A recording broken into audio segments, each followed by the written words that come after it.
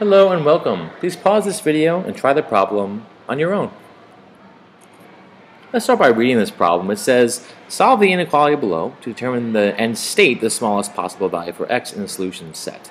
So basically solve for x, right? We have 3 times x plus 3 is less than or equal to 5x minus 3. So basically everything we do to balance this uh, with, with if it was equals, if it was an equality, not an inequality, um, would apply except for when we multiply or divide by negative numbers on both sides.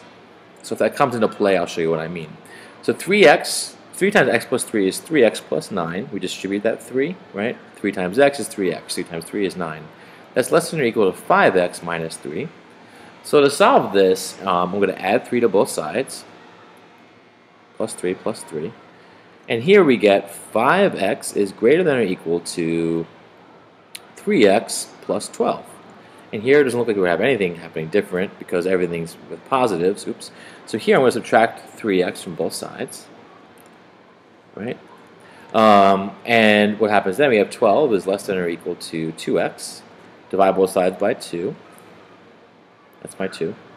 And we get 6 is less than or equal to x. So here, x is anything larger than or equal to 6. Let's see what it says. Determine the state the smallest possible value for x in the solution set. So, so the smallest possible value for x, x would equal 6. That's the because eh, x is anything larger than or equal to 6, so the smallest one it could be is actually 6 itself. Think about a number line. If we have 6 here and 7, if x is anything including, use red, 6 or anything above it, the smallest possible value could be is right here. x could be 6. Now, one thing to keep in mind is if you ever multiply or divide both sides by a negative, you want to reverse the order of the inequality.